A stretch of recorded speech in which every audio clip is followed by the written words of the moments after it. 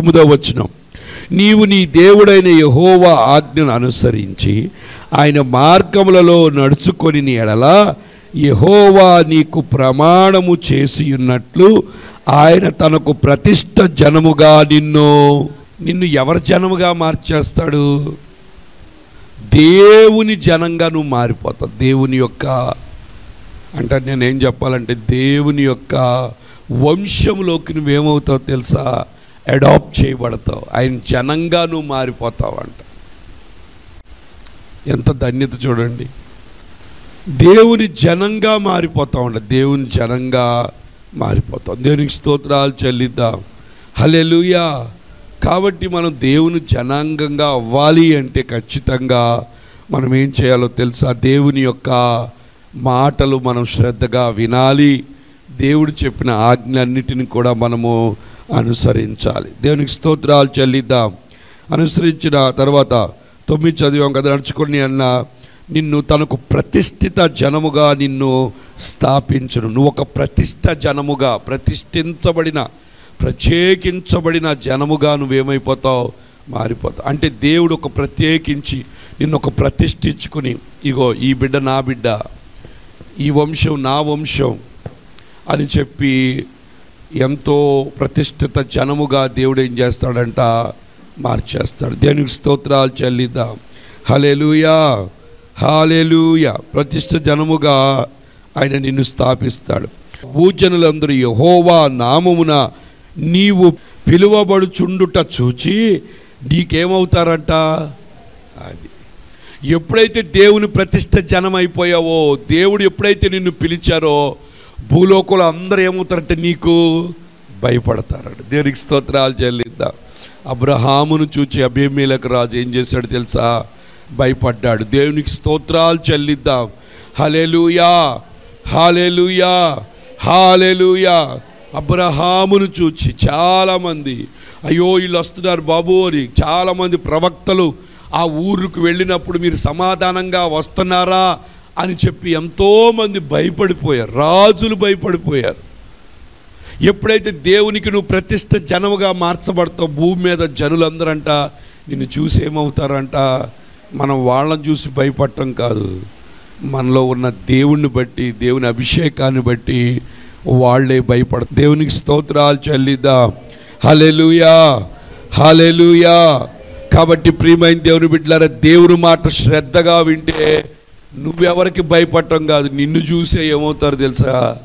భయపడతారు. ఇక్కడ చూడండి ఆ మాట. దేవుడైన యహోవా ఆజ్ఞలను అనుసరించి ఆయన మార్గంలో నడుచుకొని ఎడల యహోవా నీకు ప్రమాణము చేసి ఉన్నట్లు ఆయన తన తనకు ప్రతిష్ట జనముగా నిన్ను స్థాపించును. భూజనులందరూ యెహో- యెహోవా నామమున నువ్వు పిలువబడి చుండుట చూచి నీకు భయపడుదురు. దేవునికి స్తోత్రాలు చెల్లిద్దాం.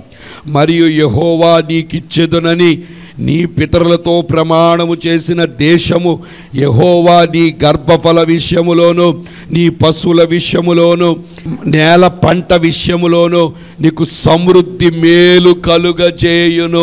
దేవునికి స్తోత్రాలు చేశారు. చూసారా దేవుని మాట అంటే అన్ని మేలులో. అన్ని విషయాల్లో దేవుడు ఏం చేస్తాడంటే? మేలు చేస్తాడంట. సమృద్ధి మేలు చేస్తాడంట. నువ్వు దేవుని మాట వినకుండా ఇష్టానుసారంగా నీ సొంత జ్ఞానంతో సొంత ఆలోచనతో బ్రతికితే నీకు మేలు కాదు కదా. తర్వాత వచ్చే శాపాలు కూడా నువ్వు చూస్తావు. దేనికి స్తోత్రాలు చెల్లిద్దాం. ఈరోజు మనం చూసాం నిన్ను ప్రతిష్ఠిత జనముగా చేస్తాడంట. రెండోది ఏంటో తెలుసా? నువ్వు దేవుని జనంగా పిలువబడుట చూచి నీకు జనులు భయపడతారంట. దేవునికి స్తోత్రాలు చెల్లిద్దాం. మూడోది ఏంటో తెలుసా? చాలామంది నీ భూఫలము పంట పొలము గర్భఫలం అన్నీ కూడా ఏమవుతుందో తెలుసా? సమృద్ధి మేలులోకి నిన్ను నడిపించేస్తాడంట. దేవునికి స్తోత్రాలు చెల్లిద్దాం.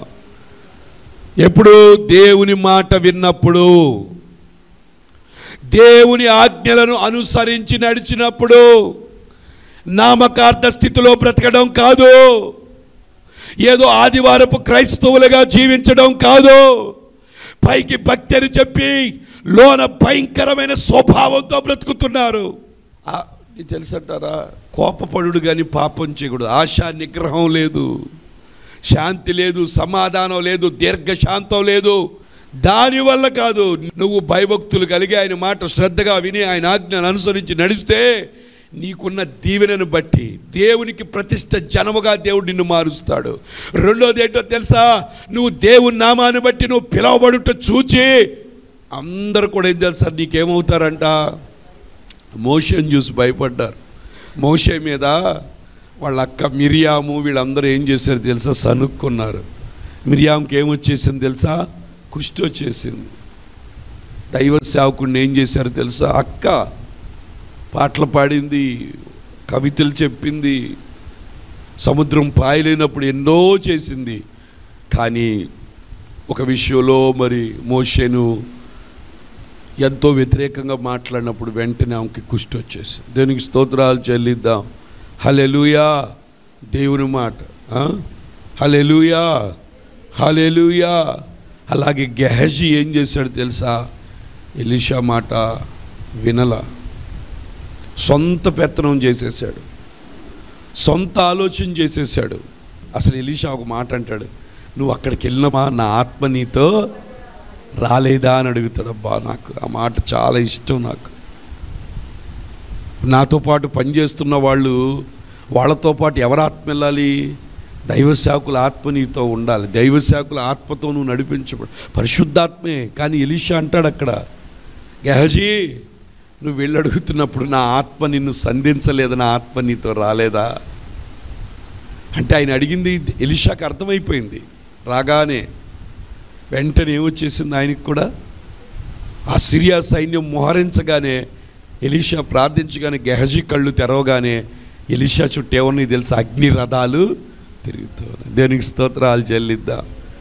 హలెలుయా అటువంటి అభిషేకంతో మనం నింప దేవునిలో ఏమండి దేవునితో మనం కొనసాగుతూ దేవునిలో సాగుతూ ఉన్నప్పుడు దేవుని ప్రతిష్ట జనముగా మార్చబడి దేవుని అభిషేకించబడినప్పుడు అనేకులు నిన్ను చూసి భయపడతారు కానీ నువ్వు అనేకులకు భయపడే స్థితిలో అదే నేను చెప్తా ఉంటాను. కొన్నిసార్లు ఆ బోధ నచ్చదు చాలా మందికి. నేను చెప్పే మాటలు చాలామంది వ్యతిరేకిస్తున్నాను ఎందుకంటే వాళ్ళ మంట తీవ్రత తెలియదు వాళ్ళ స్థాయి చాలా తక్కువగా ఉంది. మనం మాట్లాడే మాటలు చాలా స్థాయిలో మాట్లాడుతున్నాం మనం. ఎంతో ఒక హై లెవెల్లోకి ఆత్మీయ స్థితిలో ఉన్నత స్థానంలో మాటలు చెప్తున్నప్పుడు లో క్యాడర్ ఉన్న వాళ్ళకి అది అర్థం కాదు. దేనికి తప్పులు పడుతున్నావంటే యు ఆర్ ఇన్లో క్యాడర్ ఆత్మీయ స్థితిలో చాలా తక్కువ స్థితిలో ఉన్నావు. అందుకే నీకు ఏమవుతుందో తెలుసా? ఉన్నత స్థితిలో ఆత్మ అనుభవాలు నీకు అర్థం కాక పిచ్చి పిచ్చిగా నువ్వు అరుచుకుంటా కేకలు వేసుకుంటూ ఉంటావు. ఒకవేళ మనం అలా జడ్జి చేసినాడు మన బ్రతుకును జడ్జి చేసి చూస్తే అసలు ఇంత కూడా మనలో ఇంత కూడా కనపడదు. దేవునికి స్తోత్రాలు చెల్లిద్దా. ఇంకా పాలు తాగే స్థితి కాదు మనం. బలమైన ఆహారం తినే స్థితిలో మనము ఉండాలి. అటువంటి అభిషేకం మనకు కావాలి. దేవుని మర్మాలను పరిశోధించే ఆత్మచేత మనం నింపబడాలి. దేవుని యొక్క ప్రేమ యొక్క ఎత్తు లోతు పొడవు వెడల్పు తెలుసుకునే స్థితిలోకి రా. దేవుని యొక్క ప్రేమ అంటే ఎత్తు లోతు పొడవు వెడల్పు డెప్త్ తెలుసుకునే స్థితిలో మనం వెళ్ళాలి. దేనికి స్తోత్రాలు చెల్లిద్దాం. అంతేగాని ఎప్పుడు చూసినా పై పైనే. ఆ చీలమండల అనుభవంలో ఉంటే ఉదరలోత అనుభవం మనకు అర్థం కాదు. తెలుసా మీకు? ఈ యొక్క అభిషేకంలో కేటగిరీస్ ఉన్నాయి. మొదటిగా చీలమండలం యాంకిల్ లెవెల్. తర్వాత ఏంటి మోకాళ్ళు లోతు. తర్వాత ఏంటి చెప్పండి? నడువు లోతు. ఆ తర్వాత ఏంటి చెప్పండి? ఉదరం లోతు. ఆ తర్వాత ఈదలేని ఇప్పుడు యాంకిలోడికి ఈదలేని అనుభవం మాటలు ఎక్కుతాయా ఎక్కో యాంకిల్ అంటే చీలమండలంలో ఉన్నవాడికి ఈదలేని అనుభవం వాడికి ఎక్కదు. ఆ లెవెల్ ఆశీర్వాదం వాళ్ళకి ఎక్కదు. వాళ్ళకి అర్థం కాదు. అందుకే చాలాసార్లు ఏమవుతారు తెలుసా? ఎప్పుడు ఆ యాంకిల్ వాళ్ళు ఈదలేని అనుభవం వాళ్ళతో ఎప్పుడు తర్కం జరుగుతూనే ఉంటుంది. దేవునికి స్తోత్రాలు చెల్లిద్దాం.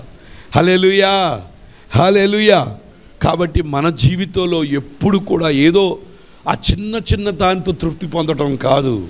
మనం ఎలా తెలుసా? ప్రతిష్ట జనముగా మార్చబడ్డామంటాడు దేవుడు నిన్నేం చేశాడు తెలుసా? ప్రతిష్ఠిత జనం. నువ్వెవరో తెలుసా? ప్రభు చేత స్టాంప్ వేయబడి ఈ బిడ్డ నా బిడ్డ ఎందరైతే దేవుని నామాన్ని అంగీకరించారో వారందరూ దేవుని పిల్లలు. ఈ బిడ్డ నా బిడ్డని ఒక ప్రతిష్ఠితగా జనాంగంగా దేవుడు మనల్ని ఎన్నుకున్నాడు. మనం సామాన్యులు కాదు. ఎప్పుడు దేవుని ఆజ్ఞలు పాటించి దేవుని యొక్క మాటను శ్రద్ధగా విని జీవిస్తే నిన్ను దేవుడు ఏం చేస్తాడు? ఒక ప్రతిష్ఠితమైన బిడ్డగా ప్రతిష్ఠిత అంటే ఏంటో తెలుసా? ఒక స్పెషల్గా ఏర్పాటు చేసుకున్న ఆ చూజన్ ఎన్నో బట్టలు ఉంటాయి. కానీ మనం ఏం చేస్తాం? కొన్నిటినే షాప్కి వెళ్తాం అనుకోండి. కొన్నిటిని ఏం చేస్తాం మనం? అన్నిటిని కొనేస్తామా? కొన్నిటినే చూస్ చేసుకుంటాం. అలాగే ఈ లోకంలో కొన్ని కోట్ల బిలియన్స్ మంది ఉన్నారు. ఎంతో కోట్ల కోట్ల మంది ఉంటే వాళ్ళల్లోంచి దేవుడు నిన్ను ఎన్నుకుని ఏం చేశాడు తెలుసా? ప్రతిష్ఠిత జనముగా పెట్టినప్పుడు ఆ యొక్క లెవెల్ను మెయింటైన్ చేయాలి. దేనికి స్తోత్రాలు చెల్లిద్దాం? మాటల్లో మెయింటైన్ చేయాలి. అలవాట్లలో మెయింటైన్ చేయాలి. నీ భక్తిలో నీ మా నడవికలో అన్నిట్లో కూడా అరుపులు కేకలు ఉండకూడదు. ప్రభువారంట అరవలేదు కేకలు వేయలేదు. స్వరం వీధిలో వినవాడు. ఆయన అంత కొడుతున్నా కానీ ఆయన అరవలేదంట తెలుసా? గొర్రె పిల్ల అరుస్తుంది ఎప్పుడన్నా? దాన్ని బొచ్చు షేవింగ్ చేస్తూ ఉంటారు చాలామంది. అదొక తీసేవారు ఉన్ని తీసేవాళ్ళు. అది అరవదు కాముగా ఉంటుంది. అదే కుక్కను పట్టుకోండి. ఎన్ని అరుసులు కుక్కను పట్టేవాళ్ళు వస్తారు. దాన్ని పట్టుకోగానే ఎట్లా అరుస్తుంది అది? భయంకరంగా అరుస్తుంది. దేవునికి స్తోత్రాలు చెల్లిదు. మనం కుక్కలం కాదు వీఆర్ షీప్స్ దేవుని చేత ప్రతిష్ఠించబడిన జనాంగం. పక్కన చెప్పండి దేవుని చేత ప్రతిష్ఠించబడిన జనం నువ్వు అని చెప్పండి. ఒక దినాన మన యొక్క పొజిషన్ ఎలా ఉంటుందో తెలుసా? వర్ణనాతీతం ఆశ్చర్యపోయే స్థితిలో దేవుడు మనల్ని ఉంచబోతున్నాడు. ఆ యొక్క బంగారపు వీధుల్లో ఆ దేదీప్యమానమైన ఓ స్ఫటికము వంటి అంట తేజోమహిమైన ప్రదేశంలో మనం అడుగుపెట్టి ఎంతో సం- దాని కొరకు ఈ భక్తి అంతా కూడా ప్రభు మనతో చేయిస్తున్నారు దేవునికి స్తోత్రాలు. ఆ స్థితిలోకి వెళ్ళాలి అంటే ఖచ్చితంగా నువ్వు ఎలా ఉండాలో తెలుసా? దేవుని యొక్క మాటను శ్రద్ధగా వినాలి. ఎవరి మాట శ్రద్ధగా వింటున్నావు? పరీక్షించుకో. సైతాను మాట శ్రద్ధగా వింటున్నావా? దేవుని మాట శ్రద్ధగా వింటున్నావా? నీ చెవిలో ఎవరి మాట వినపడుతుంది? నీ గుండెల్లో ఏ ధ్వని వస్తుంది? ఎలాంటి ధ్వని వినపడుతుంది? ప్రభుకు సంబంధమైన ధ్వనా? లేకపోతే లోక సంబంధమైన ధ్వని వినపడుతుందా? నీ గుండె ఎవరి కొరకు కొట్టుకుంటుంది? నీకు రక్తం కార్చిన ఏసై కొరకు కొట్టుకుంటుందా? లేకపోతే ఈ లోకంలో ఉన్న పరిస్థితుల వైపు చూస్తున్నాం ఒకసారి మనం ఆలోచన మీరైనా నేనైనా సరే. ప్రతి నిత్యం కూడా నీ గుండె ప్రభు కొరకు పరితపించాలి. ప్రభు కొరకు పరితపించాలి. ఆయన అంటే ఆయన ప్రేమలో నువ్వు పడిపోవాలి. దేవుని ప్రేమ దేవుని ప్రేమలో పడిపోవాలి. ప్రభువును పట్టుకోవాలి ప్రభువుని విడిచిపెట్టకూడదు. సాతానుగాడు చెవులో అనేకమైన లోకపు మాటలు లోకపు తలంపులు లోకపు ఆలోచనలు చెప్తుంటాడు. వాడు మాటలకు స్థానం ఎందుకో తెలుసా? దేవుడు నిన్ను ప్రతిష్ఠించుకున్నాడు. దేవుని సొత్తుగా నిన్ను చేసుకున్నాడు. దేవునికి సొత్తైన బిడ్డవు నిన్ను చూసి అనేకులు భయపడాలి కానీ నువ్వు అనేకులకి భయపడే స్థితిలో నువ్వు ఉండకూడదు. అటువంటి కృప మనందరి మీదకి రావాలి అంటే మనం ఏం చేయాలి చెప్పండి? ఏం చేయాలి? ఏం చేయాలి? దేవుని మాట ఏం చేయాలి? దేవుని మాట శ్రద్ధగా వినే బిడ్డ తల్లిదండ్రుల మాట కూడా వింటది. అర్థమైన సంకీర్తన? తల్లిదండ్రులకు ఎదురు చెప్పరు. తల్లిదండ్రులకి సహకరిస్తారు పనులు చేస్తారు. అంతేగాని మొండిగా మూర్ఖంగా ఉండరు. ఎందుకంటే దేవుని బిడ్డవు కాబట్టి ఆ దేవుని ప్రేమ అందరికీ కనపడే స్థితిలో ఉండాలి. దేనికి స్తోత్రాలు చెల్లిద్దాం. హలేలుయా కాబట్టి దేవుడు మొదటగా ఏంటి తెలుసా? దేవునికి ప్రతిష్ట జనంగా చేశాడంట. రెండోది ఏం చేశాడు తెలుసా? ఏం చేశాడు అక్కడ చదివాం? ప్రతిష్ఠిత జనంగా చేశాడు. రెండోది అంటే ఆయన నామాన్ని బట్టి అంట అనేకులు నీకేమవుతారు తెలుసా? భయపడతారంట. అనేకులు ఏమవుతారు? ఆ పదో వచ్చిన చదివాం కదా. ఏసు నామోన నువ్వు పిలువబడుట చూచి ఉండుట చూచి భయపడతారంట. మూడోది మరియు యహోవా నీకిచ్చి నీ పితరుల ప్ర ప్రీతితో ప్రమాణము చేసిన దేశమున యహోవా నీ విషయంలో నీ పశువుల విషయంలో నీ నేల పంట విషయంలో నీకు సమృద్ధి మేలు. చూసారా మూడోది ఏంటి తెలుసా? సమృద్ధి మేలు కలుగుద్దంట. మేలు కొంచెం కాదు సమృద్ధిగా కలుగుద్దంట. సమృద్ధి అంటే ఏంటి? More than enough. అంటే దాని అర్థం ఏంటో తెలుసా? చాలింది దానికన్నా ఎక్కువ. More than. ఒకవేళ మీరు అందరూ ఇంట్లో వాళ్ళందరూ కలిసి ఒకవేళ ఈ యొక్క మామిడికాయల సీజన్లో ఒక వంద కాయలు తింటారు అనుకుందాం ఊరికే. ఈ మే నెలలో జూన్ నెలలో ఏప్రిల్ నుంచి స్టార్ట్ చేసి. దేవుడు ఏం చేస్తాడంట మోర్ అంటే వందకి ఎక్కువే ఇస్తాడు కానీ తక్కువ ఎంత మాత్రం కూడా సమృద్ధి మేలు చేస్తాడంట. దేవునికి స్తోత్రాలు చాలు. ఎప్పుడు దేవుని మాట శ్రద్ధగా విని. ఆయన ఆజ్ఞలను ఏం చేయాలి తెలుసా? ప్రభు ఏది చెప్తే అదే చేయాలి వేరే చేయటానికి వీల్లేదు. ప్రభు ఏది చెప్తే ఏదైనా ప్రభుని అడగాలి. ప్రభు ఏది చెప్తే ప్రభు ఎక్కడికి వెళ్ళమంటే అక్కడికి వెళ్ళాలి. ప్రభు ఏది చెప్తే అది చేయాలి. ప్రభు నిన్ను ఎలా నడిపిస్తే అలాగే నడవాలి. దేనికి స్తోత్రాలు చెల్లిద్దాం. అంతేగాని నీ సొంత ఆలోచన ఎప్పుడు కూడా నువ్వు చేయడానికి వీలు లేదు. ఎందుకంటే ఇంక నువ్వు సొత్తు కాదు. జీవించువాడు నేనును కాదు. నాలో ఉన్న ఎవరో తెలుసా? క్రీస్తేసే. ఏసయ్యే జీవిస్తున్నాడు. ఇంకా నీ ఆలోచనకి స్థానం లేదు. నీ తలంపులు లేవు. నిన్ను నువ్వేం చేస్తావు తెలుసా? ప్రభుకు సమర్పించేసుకున్నావు. ఇంకా ప్రభువే నీ మీద అధికారి. ప్రభువే నీ పైన వానర్ ఆయనే. ఆయన ఏది చెప్తే నువ్వు అది చెయ్యాలి. కానీ ఆయన నీ పట్ల ఉన్న ఉద్దేశాలన్నీ కూడా మేలుకరమైన ఉద్దేశాలే కానీ హానికరమైనవి కానే కాదు. దేవునికి స్తోత్రాలు చెల్లిద్దాం. హాలేలుయా తర్వాత చూడండి. చెప్పాడు మూడు చెప్పాం కదా? ఇరవై రెండో వచ్చినాం యహోవా నీ దేశములో ఆ, యహోవా నీ దేశము మీద వర్షము దాని కాలమందు కురిపించుటకును. నీవు చేయు కార్యమంతటిని ఆశీర్వదించుటకు ఆకాశమును తన మంచి ధననిధిని అబ్బా ఏంటండి మాటలు? మంచి ధననిధి ఏం చేస్తాడంట? తెరుస్తాడంట. వర్షం ఎప్పుడు పడాలో వర్షం పడేటట్లుగా. ప్రతీది సక్సెస్ఫుల్ అవడానికి ఆకాశ ధననిధిని ఏం చేస్తాడంట?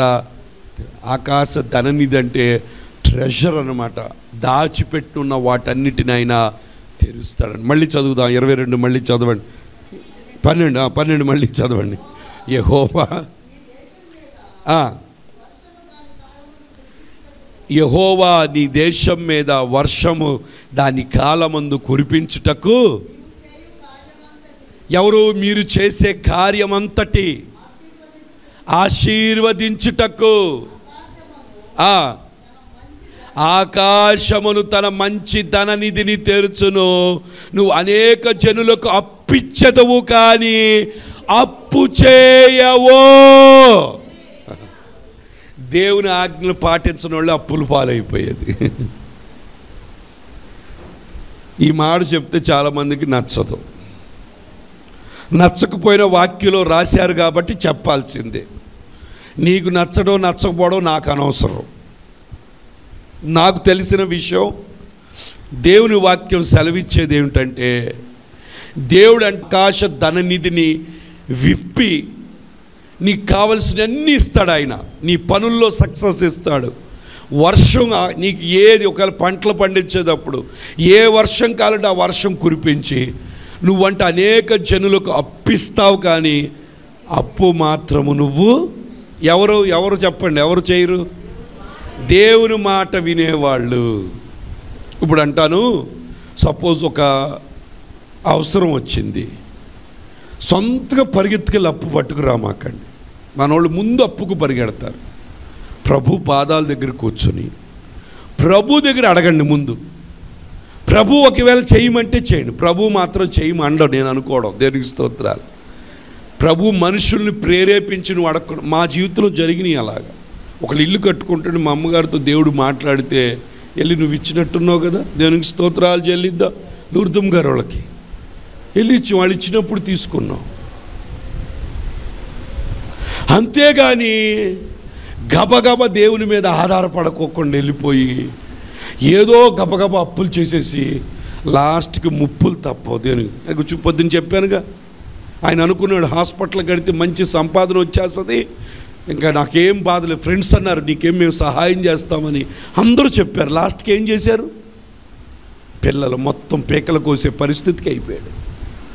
కేవలం ఆర్థిక పరిస్థితుల వల్లే చనిపోయాడు ఆయన. తీర్చలేక ఒత్తిడి తట్టుకోలేక రెండు నెలల నుంచి భయంకరమైన ప్రెషర్ ఎక్కువైపోయి సాతానుగడు చావు చావు చావు చావు చావు అని చెప్పేస్తే ఆ బాధ తట్టుకోలేక ఆ వాయిస్ ఎక్కువైపోయి లాస్ట్కి కుటుంబం మొత్తాన్ని కూడా ఏం చేశాడు తెలుసా? దేవుని మాట శ్రద్ధగా వినకోకుండా నీ సొంత పెత్తనాలు సొంత ఆలోచనలు సొంత జ్ఞానం ఉపయోగించేసి ఏదోదో చేద్దాం అనుకుంటే నష్టంలోకి వెళ్ళిపోతావు. ఇక్కడ దేవుని వాక్యం చెప్తుంది. మొదటిగా నిన్ను ప్రతిష్ఠిత జనంగా చేశాడు. ఆయన పిలవటం బట్టి అందరూ భయపడతారంట. మూడోది ఏంటో తెలుసా? ఆయన సమృద్ధి మేలుతో నింపుతాడంట. నాలుగో మాట ఈరోజు మనం నేర్చుకుని తెలుసా? ఆకాశ ధననిధిని విప్పుతాడంట. నువ్వు అప్పిచ్చే స్థితిలోనే ఉంటావు కానీ అప్పు చేసు. అటువంటి కృప మీ అందరి మీదకి వచ్చును గాక. కావాలంటే తీసుకోలేదు మౌనంగా ఉండండి. అటువంటి కృప మీ మీదకు వచ్చును గాక ఉన్న అప్పులన్నీ తీరిపోయి ఇంకెప్పుడు అప్పు చేయకుండా సమృద్ధితో ఉండును గాక అలా ఉండాలి అంటే దేవుడు చెప్పిన పని మీరు ఏం చేయాలి? చెయ్యాలి. అలా చేయకోకుండా మన ఇష్టానుసారంగా మనం బ్రతికితే దేవుని మాట వినకుండా నువ్వు జీవిస్తే మన బ్రతికేమైపోద్దో తెలుసా? దారుణమైన పరిస్థితిలోకి వెళ్ళిపోతాం. దేవునికి స్తోత్రాలు చెల్లిద్దాం. ఏదైనా ప్రభు చెప్పిందే చెయ్యాలి. ఏదైనా ఏం చేయాలి? ప్రభు చెప్పిందే చెయ్యాలి. ప్రభుని అడగండి ప్రభు ఇది మేము చేయటం రైటా రాంగా? ప్రభు మాట్లాడిన తర్వాత ప్రభు చెప్పినప్పుడు ప్రభు చెప్పిన దానికి ఒకటి అటు కానీ ఇటు కానీ కాదు. ప్రభు ఆలోచన ప్రకారంగా నువ్వు నడిస్తే నువ్వు పట్టణంలో దీవించబడతావు. పొలములో దీవించబడతావు. నీ గర్భఫలము భూఫలము నీ పశువుల మందలు దీవించబడతాయి నీ తొట్టే పిండి పిసికే తొట్టి కూడా ఏమవుద్దో తెలుసా? దీవించబడతావు. అంతేకాకుండా నువ్వు ప్రతిష్ట జనంగా మారిపోతావు. నిన్ను చూసి అనేకులు భయపడతారు. అంతేకాకుండా సమృద్ధి మేరతో నువ్వు నింపబడతావు. అంతేకాకుండా నీ మీద పరలోకపు ధని ధననిధి తెరచబడి ఉండి నువ్వు అప్పిచ్చే స్థితిలో ఉండు అనేకులకు ఇచ్చే స్థితిలో ఉండు. దేవుడు ఆ కృప నాకు ఇచ్చాడు. దేవునికి స్తోత్రాలు చెల్లిద్దా. హలేలుయా అనేకులు అంటే డబ్బులు కాదు ఏదైనా పెట్టే స్థితిలో నన్ను ఉంచాడు. దేవునికి స్తోత్రాలు చెల్లిద్దాం. అంతేగాని కంజూస్గా క ఏమంటారు తెలుసా? పిసనారిగా చెయ్యి వెనక్కి లాక్కునే స్థితిలో నన్ను ఉంచలా. ఇప్పటి వరకు దేవుని కృపనట్టి ఓ అడిగిన దానికన్నా ఎక్కువ ఇచ్చే కృపలో నన్ను ఉంచాడు. దేవునికి స్తోత్రాలు. ఆ కృప మీ అందరి మీదకు వచ్చును గాక. హలేలుయా హాలేలుయా కొంతమందికి ఎంత బాధో పెట్టాలంటే. ఎంత వేదనో. కన్నేనైతే ఇదిగో ప్రభు మాట వినేవాడిని ఆయన ఆజ్ఞలు పాటించేవాడిని ఆ వాక్యం నాకు తెలుసు. ప్రభువులో ఉన్నత స్థితిలో ఉన్నత స్థాయిలో ఆత్మీయ స్థితిలో ఉన్నతంగా ఉంచాడు కాబట్టి ఎప్పుడు నా బుర్ర ఉన్నతంగానే ఆలోచిస్తూ ఉంటుంది ఉన్నతంగానే చేస్తూ ఉంటాను. దేవునికి స్తోత్రాలు చెల్లిద్దాం. హలెలుయా దేవునికి స్తోత్రాలు చెప్పండి అందరూ కూడా. Hallelujah hallelujah hallelujah hallelujah. కాబట్టి వాళ్ళ ఐదు విషయాలు చెప్పాను. ఐదు విషయాలు చెప్తారు. ఫస్ట్ది ఏం చెప్పండి? దేవుడు దేవుని మాట శ్రద్ధగా విని ఆజ్ఞ ఆజ్ఞలు పాటించి నడుచుకుంటే ఫస్ట్ జరిగేది ఏంటి? చెప్పాలి. ఫస్ట్ది దేవునికి ప్రతిష్ఠిత జనంగా చేసేస్తారు రెండోది ఆయన పిలవడాన్ని బట్టి అందరూ ఏం చేస్తారు? నిన్ను చూసి భయపడతారు. ఇది అంత అందరికి నచ్చే మాట. నిన్ను చూసి ఏమవ్వాలి? అందరు కూడా దేవునికి స్తోత్రాలు చెల్లిద్దాం. మూడోది ఏంటి చెప్పండి? ఏం చేస్తాడు? స- సర్వ సమృద్ధి మేళతో నిన్ను ఏం చేస్తాడు ఆయన? నింపుతాడు. నాలుగోది ఏంటో తెలుసా? అప్పు చేయడం కాదు. పరలోకపు ధన నిధిని ఏం చేస్తాడో తెలుసా ఆయన? తెరచి నువ్వు అప్పు ఇచ్చే స్థితిలోనే ఉంచుతాడు కానీ అప్పు చేసే స్థితిలో ఉండవు. ఎవరికి కలుగుతాయి ఈ నాలుగు కార్యాలు? దేవుని మాట వినాలి. రెండోది ఆయన ఆజ్ఞలు అనుసరించి ఏం చేయాలి? ప్రభు ఏది చెప్పితే అదే దానికి తక్కువ కానీ ఎక్కువ కానీ చేయకూడదు. దేవునికి స్తోత్రాలు చెల్లిద్దాం. హల్లెలూయా. ఆ విధంగా మనం జీవిస్తే గొప్ప కార్యాలు మనం పొందుతాం. దేవునికి స్తోత్రాలు చెల్లిద్దాం. నువ్వు వంట అనేక జనులకు అప్పిచ్చదువు కానీ అప్పు చేయవు. తర్వాత చూడండి.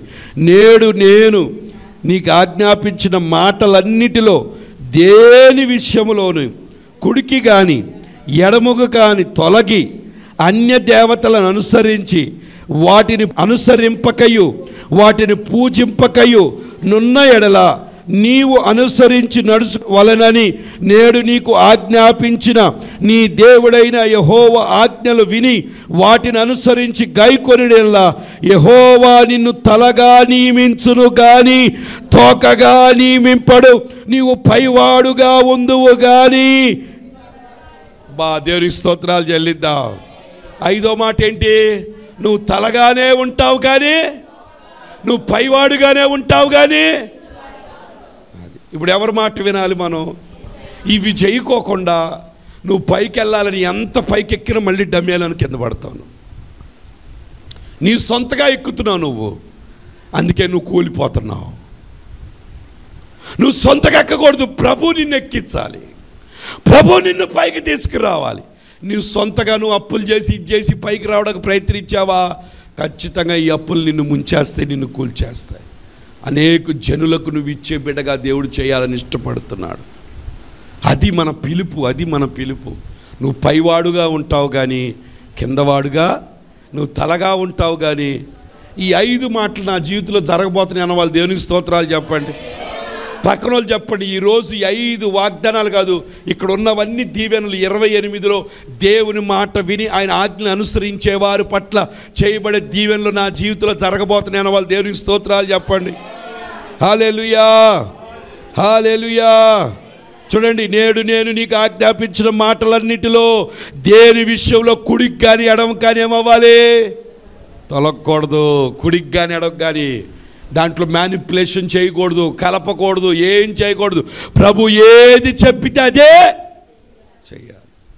కుడికి కానీ కొంతమంది వాళ్ళ ఇష్టం వాళ్ళకి నచ్చినట్టు చేసుకున్నారు. నేను చెప్తున్నాను చూడండి చాలామంది యూట్యూబుల్లో చూసి ఫాలో అయిపోతున్నారు. చాలా దరిద్రం అది నీకు. దేవుడు నీకు చెప్పిందే నువ్వు ఫాలో అవ్వాలి. యూట్యూబ్ నీకు దేవుడు కాదు ఆయన కాదు నిన్ను పిలుచుకుంది. ప్రతిష్ట జనంగా చేసింది ఆయన కాదు ఎవరో చెప్పింది కాదు. ప్రభు చెప్పిందే మనం ఫాలో అవ్వాలి. ప్రభు వాక్యానుగుణంగానే మనం ఫాలో అవ్వాలి. ఎవరో చేసింది ఆ పులంట నక్కంట పులిని చూసి ఏం చేసింది? ఒక ఆయన ఇట్లాగే అందరూ పెద్ద పెద్ద మందిరాలు కడుతున్నారు నిలిపోయి లోన్ తెచ్చేసి పెద్ద మందిరం రాజమండ్రిలో కట్టేశాడు. తీరా సంఘంలో ఎంతమంది? పది మంది. ఆ ఈఎంఐ కట్టలేక సంఘాన్ని అమ్మేశాడు దేవునికి స్తోత్రాలు చెల్లిద్దాం. ఆ ఈఎంఐ కట్టలేక ఏం చేశాడు? సంఘాన్ని ఆఖరికి మళ్ళీ చిన్న పాకలోకి వెళ్ళి సేవ చేసుకుంటున్నాడు. ఎవరు ప్రభు సలహాయే తీసుకోవాలి. ప్రభు ఏది చెప్తే అది చేయాలి. దానియలు ప్రభు చెప్పిందే చెప్పాడు. షట్రకు మేషకు అభ్యర్థనగోలు ప్రభు చెప్పిందే చేశారు వాళ్ళు. అన్య దేశంలోకి వెళ్ళి రాజాహారం తిన్నారా వాళ్ళు? వాళ్ళు పరిశుద్ధత పాడు చేసుకున్నారా? నువ్వు ఎలా పాడు చేసుకుంటున్నావు నీ పరిశుద్ధత? దేవుని బిడ్డవై ఉండి. నీ ఇష్టానుసారం బ్రతికితే దేవుడు నిన్ను దీవిస్తాడా? దేవుడు నిన్ను తలగా చేస్తాడా? నువ్వు తోకమైపోతావు అందరి ముందు అవమానకరం అయిపోతావు కాబట్టి దేవుని మాట శ్రద్ధగా వినాలి. దేవుని ఆజ్ఞలను ఆయన చెప్పింది చెప్పినట్టుగా చెల్లు కుడిం కాని ఎడమ కాని తడవకూడదు. అలాగే ఏ దేవతలు పూజించకూడదు. సెల్ ఫోన్ కూడా ఒక దేవతే దాన్ని కూడా మనం పూజించకూడదు. పక్కన పడేయాలి. దేవునికి ఇవ్వాల్సిన స్థానం దేవునికి ఇవ్వాలి.